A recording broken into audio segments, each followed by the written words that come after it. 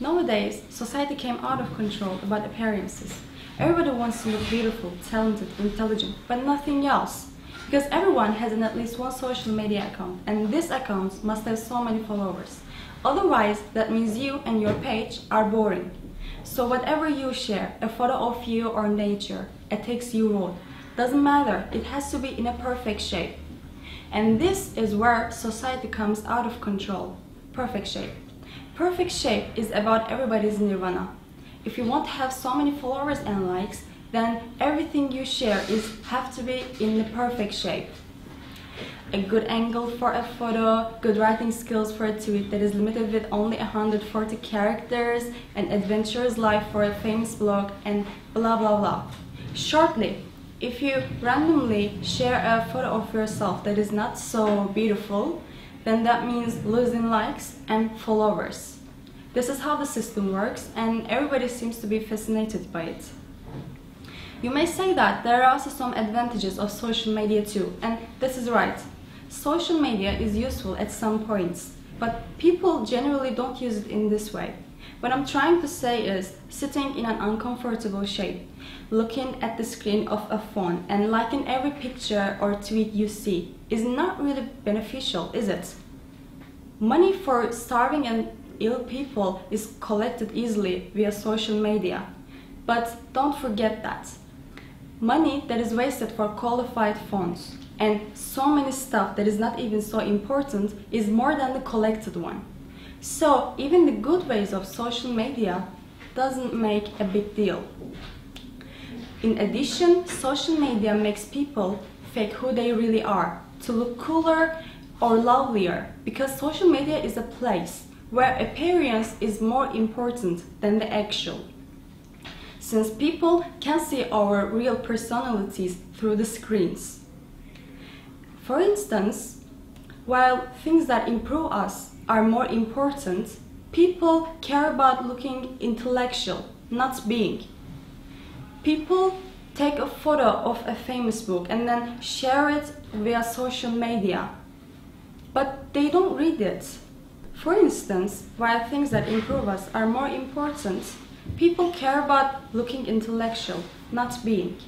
Taking a famous book's photo and then putting it on social media is more important than reading it.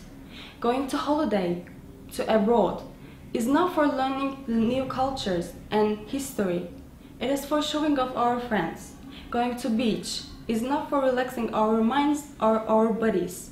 It is for taking cool photos and then putting them on social media. It's almost like the likes we get from our followers define us. This isn't right. People should read books, take photos, go on holidays just because they want to. People should be intellectual, not looking like intellectual. Hobbies are not something that we can use to have followers. It is something that makes us feel happy and help us having a good free time. So far, I tried to explain what is social media about and why it is not really significant. I haven't come, I haven't came to the part where everything gets more hideous, unfortunately. What I'm trying to say is, if perfect shape is so important for social media followers, then think, how would people react if a photo or something else you post is not in a perfect shape? Just try to imagine. People will start to bully. On social media in real life, they will look at the one in a bad way who shared it, and they will message bad things, like he or she made an awful thing. And this leads people to various things, like suicide, depression, eating disorders, assorted psychological problems, or makeup, Photoshop, plastic surgery, and medicines, and so many things that I cannot count. When people become psychopath about looks, they bully other people and they bully themselves too.